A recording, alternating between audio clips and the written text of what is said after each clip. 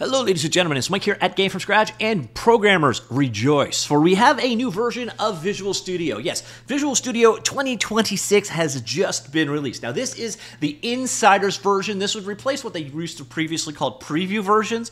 Uh, but the thing is, you can check this out today. Why is that? Well, because you can install this side by side with your other versions of Visual Studio without issue, which is a nice thing. So, we're going to take a look at it today. What is new in Visual Studio 2026, what you can expect, and so on. And one of the things they've done here is they've updated the UI. They haven't done a whole lot to it, in my humble opinion, but they've added their fluent UI design. So what exactly does that mean? Well, you're going to notice the icons and so on are spaced differently. Let me actually demonstrate that by going side by side. So here we go. This over here, this is Visual Studio 2022. That's been around for a very long time. And I gotta admit, the changes are pretty subtle. They've changed the uh, spacing of fonts. You can also see like the, the scroll bar down here has changed the style that they're using. A little bit bigger font down here, a little bit more detail available.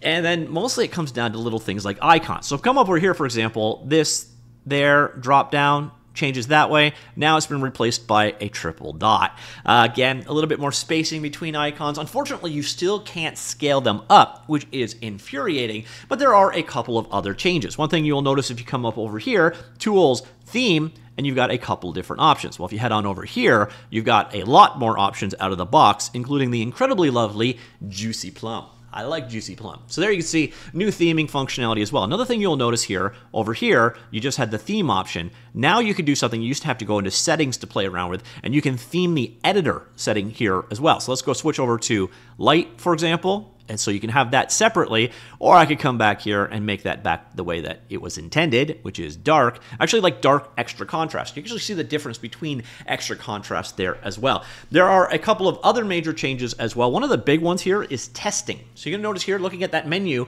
test, you don't have the same settings. So over here, tests, you'll now notice you have code analyzer and code coverage results. Now, this is true in the Community Edition. Those used to be locked behind in the Enterprise version. So you now have these new code coverage tools, which is quite nice. On top of that, they've also changed this out. So your options are now this way, whereas before it used to be this throwback window from like 2017, uh, where the settings were done there. So now you've got this new settings window that is embedded in. And the cool thing here is it's also editable as JSON. So at any time I can come in here and we can change out that value. Uh, by the way, you can scroll out this. Unfortunately, you still can't scale out the user interface in Visual Studio, which is insane. I should be able to scale up these icons on a 4K monitor. They're getting pretty tiny, especially as I'm getting pretty old. So that combination doesn't work great. Well, what else do we got? Well, over here, a big part of this release is this. Visual Studio 2022 uh, GitHub Copilot was an add-on, an extension you added. So if you did not want to use it, you did not have to use it. Now what you'll find is Copilot yeah, it's fully integrated. So if you're one of those people that does not like the integration of AI tools, well, you're not going to be happy because Copilot is quite literally built and baked into Visual Studio 2026. Now, if you are a fan of Copilot and AI assistants, etc., you're going to love this because it is fully integrated in. Nice thing is you can actually pick the model that you wish to work with and so on. Another thing that you'll find different between the Copilot versions is this one, the Copilot chat, uh, so let's open up a chat window there.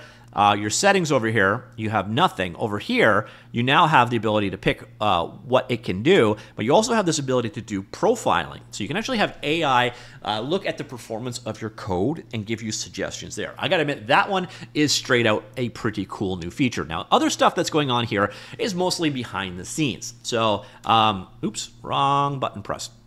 Uh, so again, you do have this uh, updated UI and so on, but the other thing that you're supposed to see is faster startup times, more efficient usage of resources, and then we've also got uh, behind the scenes, so your projects, etc.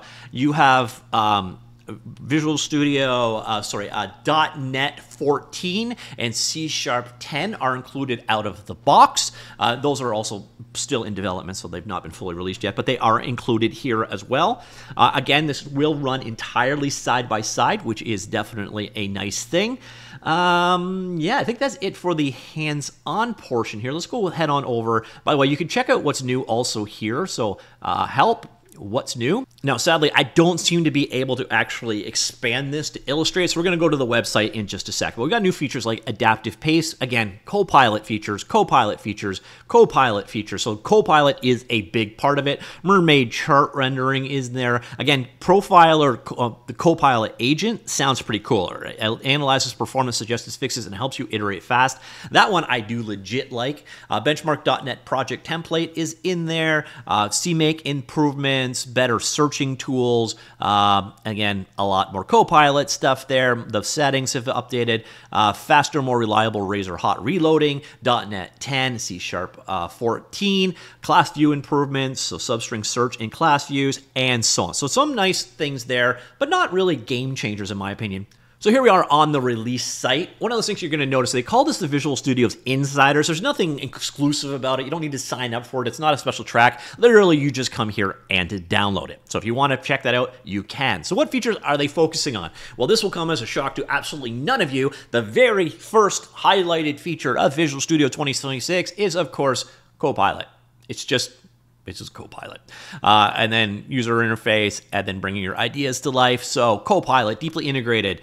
Um, yeah, it, it's built throughout, uh, less friction, not needing separate tools, and so on.